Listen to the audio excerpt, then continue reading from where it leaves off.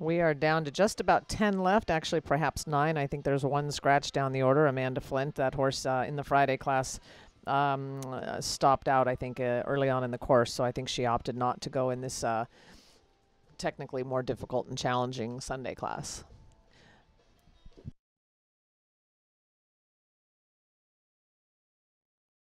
Bonnie was a little quiet to number one, but making up for it time wise to number two.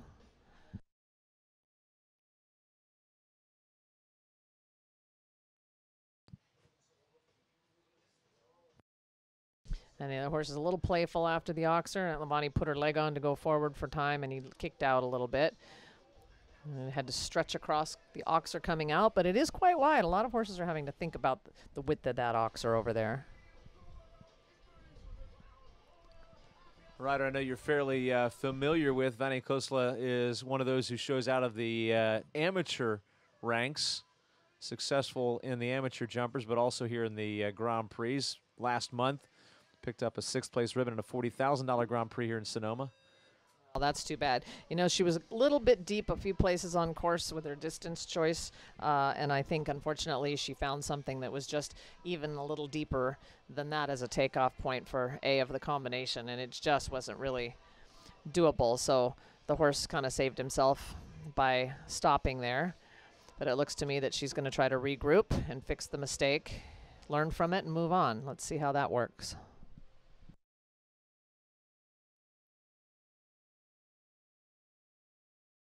And this would be one of those situations, as we were just talking about, where it's not much use to get uh, to the finish line for an award, but it is a lot of use for the experience of the horse after a stop like that.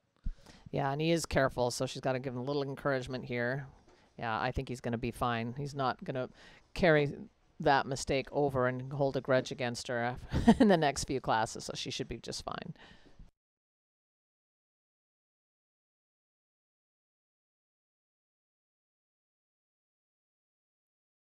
And there's the positive ride in the eight strides to the quiet five. And with two jumps left to go, as long as she gives him a good positive ride, then he will never even remember that that mistake happened.